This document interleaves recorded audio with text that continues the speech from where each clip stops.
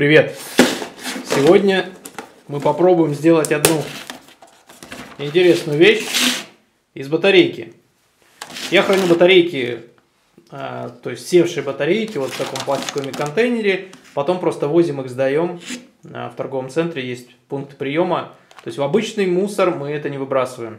Мы же разберем вот такую вот солевую батарейку. Это делается совсем просто, с помощью кусачек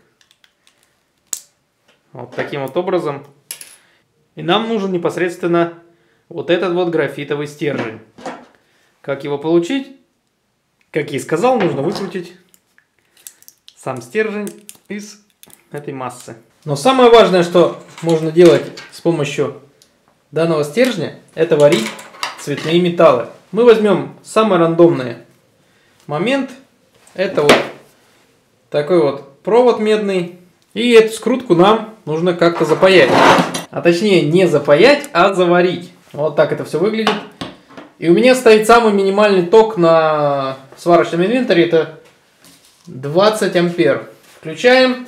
Не забываем про маску. Не забываем про краги.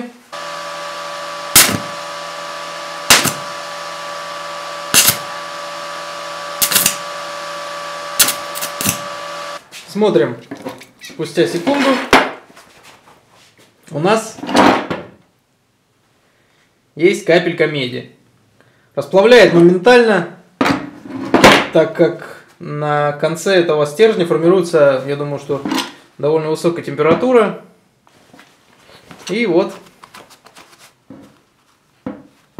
это у нас капелька меди. Попробуем еще раз. Взял вот такое вот бронзовое кольцо, бронзовое колечко. Попробуем, как оно у нас будет. 100 ампер. Уменьшим. Слишком резко. 60. Очень интересный эффект.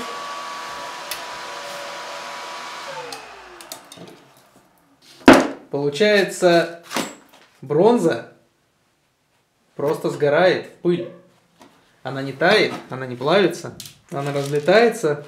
Какие-то есть частички, получается, типа расплава небольшие. Но в остальном, в остальном это выглядит вот так.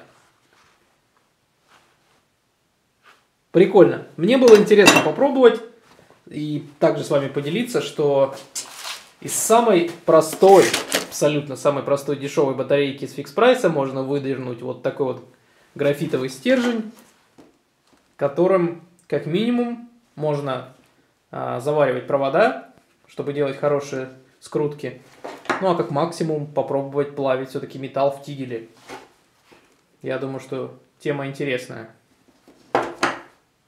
Напишите ваш комментарий, давайте обсудим, что еще можно сделать с помощью графитового стержня. И не забывайте подписываться, а также ставьте свои лайки. Покеда!